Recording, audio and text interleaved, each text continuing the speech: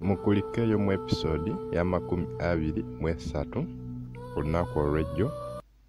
Today episode ya makumi abiri mu nnya. Mwebale kwekumirako mwebale kusubscribinga mwebale kulikinga mwebale kumentinga mwebale kwekumira wano. Mwebale kusalawo nti wano wemulina olabira mwebale kwekumirako episode tulaba emu buli lunaku emu buli lunaku. Kiwe kirina okubeera nga wenzize mbategeeza. Ffe wano tulaba episodes bbiri n'olumu ssatu daire but eno seri yali mpanvu episodes ezimu. So twasalawo tuzirabe emu emu kusinziira ku kusaba. Twasooka ne tubawanga bbiri bbiri paka ku episode oba yali ya kumi na musanvu mwebale kwekumirako tugenda tukakuba olukumu mutwe. Abiri mu nnya tuba tusigazayo episode sitaanu. Sidi yaffe esemba eno tugikomenkeeza leero. Then sidi yaffe esemba tugikwatirewo olunaku olwenkya n'episode ya makumi abiri mu etaano mwebale kwekumirako mwebale kuba nti mwekumirako.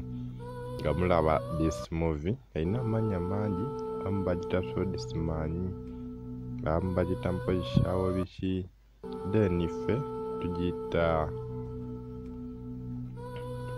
five sect sword fighters.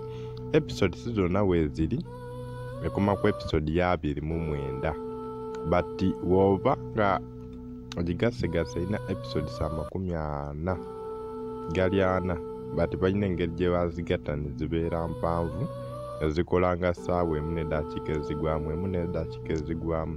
Kwali kusaba kwabo abaali naddala wano ewaffe ku butaka bagamba nti zibeera mpanvu nnyo kyova olaba twazifunzaamu ezifuuka nga nyimpi naye nga mwebale kwekumirako mwebale kulekinga kusubscribinga kufollowinga tubaagala nnyo gye mukoma okulekinga n'okufollowinga naffe gye tukoma okuba nti tubeerako mwebale kubeerako mwebale kusubscribinga.